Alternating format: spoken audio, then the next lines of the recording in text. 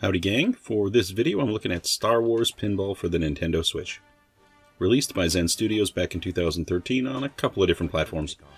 Since then it's had a bunch of different expansions, and eventually it was ported to the Nintendo Switch, and that happened back in 2019. It's a pinball game, so if you like pinball, you might like this one. If you like pinball and Star Wars, you're probably really going to like this one. I scored this copy used for $15, and for $15 this one felt like a no-brainer. Even a subpar pinball experience in a modern console is probably worth 15 bucks. I think this is probably going for about 20 new right now. And if you like pinball, this one is actually a really good value for the price. I do have two reasonably basic gripes with this game.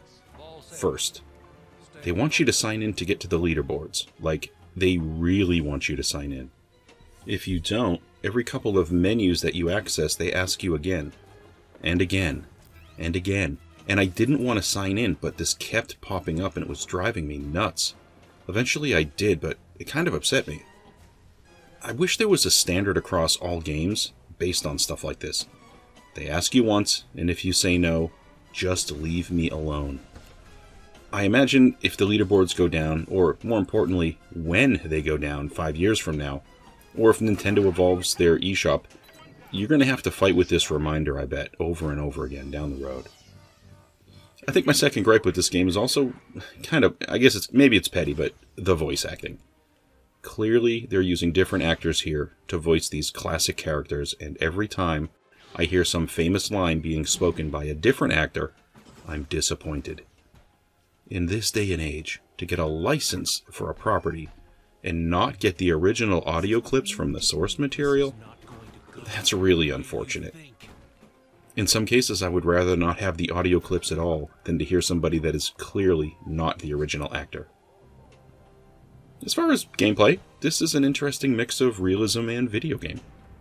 I did a review sometime back on a game called Stern Pinball for the Switch, which was a game that went out of its way to make authentic pinball tables, and basically they digitized real life tables.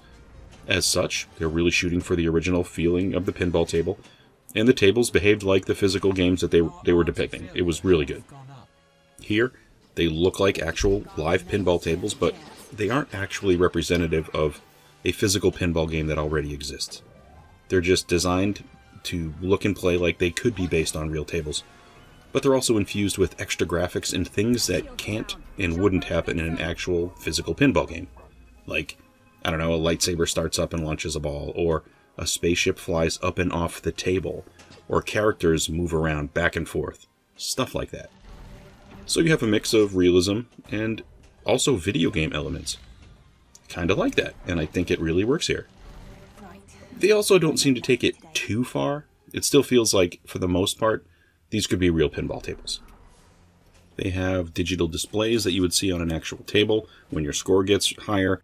They have regular bumper physics. They have the types of sound clips you would expect, and sometimes they have mini games as well.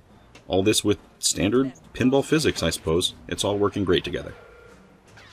Of course, you can just grab a table and play like a standard pinball game, which is nice, expected. Classic play is something that you naturally need to have with a pinball game, and you definitely have it here. Uh, they also have other game modes, which was actually something I was not expecting. You get head to head local play, you get online tournament modes, and they also added a career mode, which is quite interesting. Career mode basically has you progress through a specific selection of tables, and you're trying to hit certain feats and scores along the way. As you progress, you're going to unlock different force powers and talents, which can be used to change some of the table gameplay basics. Mostly it's score bonus type stuff. This isn't really needed, but it's a welcome addition. It helps make it feel different. In career mode, I ran into some different game types as well, and I found myself really enjoying these differences. A standard pinball table, obviously, is limited to the number of balls that you can play with. Usually that's three, and then the game is over. Here, there are other game types. Maybe the game only has two pinballs and you need to get a high score with that. Or maybe they have unlimited pinballs, but instead, you have a 5 minute time limit.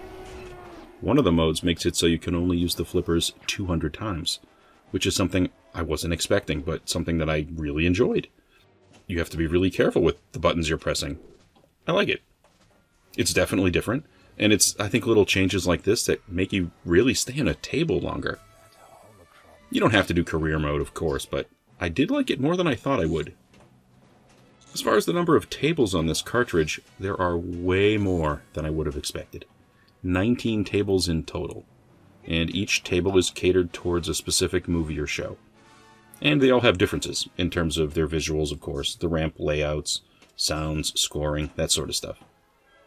Some of the tables are going to be focused on the Rebels, and some are going to be focused on the Empire, and some of the tables are probably going to be a little obscure for the standard Star Wars fan. Now, these tables don't have all the properties available, as the game is a few years old now. I think the latest property here is the table from the Solo movie, which is a, a movie that came out three or four years back. Out of all the tables, I was probably most surprised to see the Rebels table, which was an animated show that came out back in 2014. I can't say I've actually seen that particular show yet. I hear it's good, but I personally have a hard time getting into these animated Star Wars shows. It's a good pinball table, though, that's for sure. This game handles decent enough on the Switch in handheld mode, and it's nice that you can change the angle of the table on the fly using the X button. It's an immediate effect, and it's pretty great. You get a few different viewing angles, too, that you can switch to. I think there's like 8 or 9 of them. You can also press the minus button, which will change the entire table orientation. Then you can actually hold the Switch console sideways. It's going to give you more real estate to work with in handheld mode. The handle's okay in this direction, and you can also use the touchscreen to trigger the flippers. Not bad. Personally, I prefer this one plugged into a television using an external controller. I think it looks great on a big screen, and for me, the external controllers are just more comfortable to hold than what you get on the Switch by default. Overall, I think if you like pinball, there's a lot of value to this one. With all the different modes, all the settings, and the massive table variety. I mean, 19 tables is a lot. If you can get this game for 15 or 20 bucks, this is a good deal.